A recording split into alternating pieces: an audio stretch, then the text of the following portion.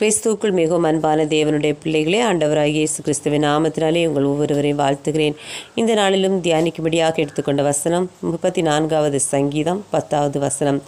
சங்கீதங்களின் புஸ்தகம் முப்பத்தி நான்காம் அதிகாரம் பத்தாவது வசனம். சிங்க குட்டிகள் தாழ்ச்சியடைந்து பட்டினியாயிருக்கும். கர்த்தரை தேடுகிறவர்களுக்கு ஒரு நன்மையும் குறைபடாது கர்த்தருடைய பரிசுத்த நாமத்துக்கு மகிமை உண்டாவதாக. வேதம் சொல்லுகிறது கர்த்தரை தேடுகிறவர்களுக்கு ஒரு நன்மையும் குறைபடாது காடுகளை எடுத்துக்கொண்டோம் என்று சொன்னால் காட்டு விலங்குகளுக்கு ராஜா சிங்கம் என்று நாம் அறிந்திருக்கிறோம். அப்படிப்பட்ட சிங்கத்துக்கு ஒரு சாமர்த்தியம் உண்டு ஒரு அநேக பலன் உண்டு. அது என்ன செய்யும் என்று சொன்னால் அது எந்த ஒரு விலங்கையாவது வேட்டையாடி சாப்பிட்டு பசி இல்லாதபடி கம்பீரமாய் காணப்படும். தன்னுடைய குட்டிகளுக்கும் அது ஆகாரத்தை கொடுப்பதிலே எந்த ஒரு வன்மமும் காட்டாது. எப்போதுமே அது அதற்கு வந்து அது ஆகாரத்தை கொடுப்பதிலே அது மிகவும் உறுதியாக இருக்கும் மிகவும் நம்பிக்கையாக இருக்கும் எப்படியாவது என் பிள்ளைகளுக்கு ஆகாரத்தை கரெக்டான நேரத்தில் கொடுக்க வேண்டும் என்பதிலே அது குறியாக இருந்து செயல்படும் அன்பானவர்களே.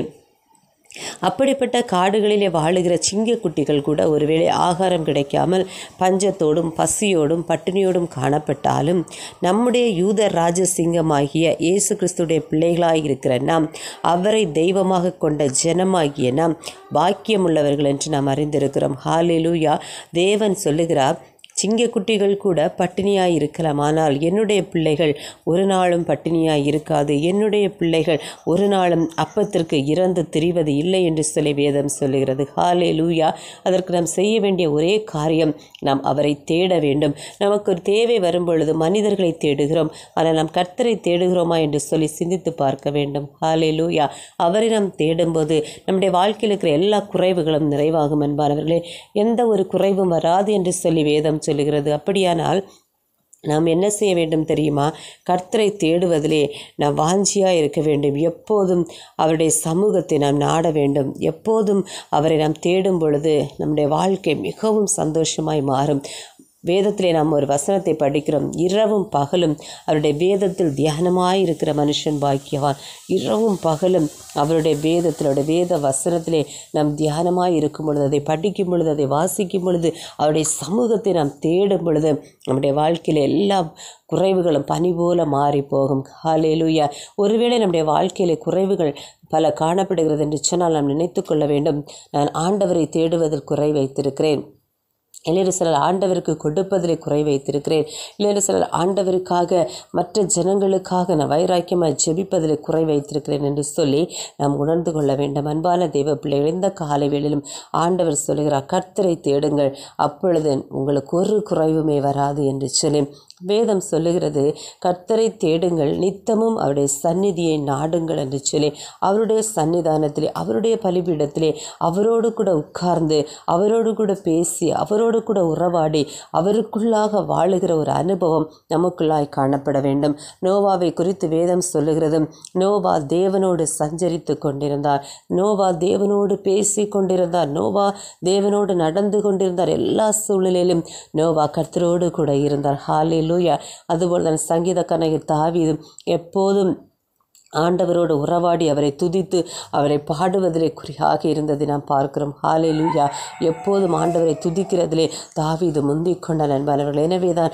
தாவீதினுடைய இருதயத்துக்கு ஏற்றவர் என்று சொல்லி ஆண்டவரை சாட்சி கொடுக்கிறார். ஹாலே லூயா நாமும் இந்த நாளிலே அவருடைய முகத்தை தேடுவோம். அவரை மாத்திரம் நாடுவோம். அவருடைய சன்னிதானத்திலே உட்காருவோம். கத்துடைய முகத்தை பார்க்க வாஞ்சிப்போம்.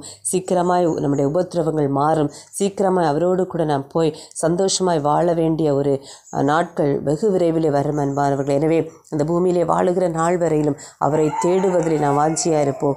கத்துதாமே இந்த வார்த்தையின் மூலமாக உங்கள் ஒவ்வொருவரையும் ஆசிர்வதிப்பாராக. அன்பும் இரக்கமும் உள்ள நல்ல தகப்பனே அருமையானது ஆசிர்வதிக்கப்பட்ட கால வேலைக்காக உண்மை துதிக்கிறேன் உண்மை ஸ்தோத்தரிக்கிறேன். கொடுத்த நல்ல வசனத்திற்காக உமக்கு நன்றி. ஆண்டவரை கேட்கிற ஒவ்வொரு பிள்ளைகளும் ஆண்டவரே அப்பா அந்த வார்த்தையை குறித்து தியானிக்கவும் ஆண்டவரை இதை குறித்து சிந்திக்கவும் ஆண்டவரை உண்மை தேடுவதிலே வாஞ்சியாக இருக்கவும் உமக்கெடுத்த காரியங்களில் அதிகமாக ஈடுபடவும் ஒவ்வொரு பிள்ளைகளுக்கும் கருத்தர் கிருபை பாராட்டுவீராக என்று சொல்லி செபிக்கிறேன் தகப்பனே. ஆண்டவரை உண்மை தேடுவதில் நம்முடைய பிள்ளைகள் முந்திக் கொள்ளட்டும் ஆண்டவரை. உண்மை தேடுவதில் அவர்கள் வாஞ்சியாக இருக்கட்டும் தகப்பனே. உமக்கெடுத்த காரியங்களில் செயல்படுவதிலே வாஞ்சியாக இருக்கட்டும் தகப்பனே. ஆண்டவரே ஒவ்வொரு பிள்ளைகளையும் கத்திர ஆசீர்வதிங்க தகப்பனே.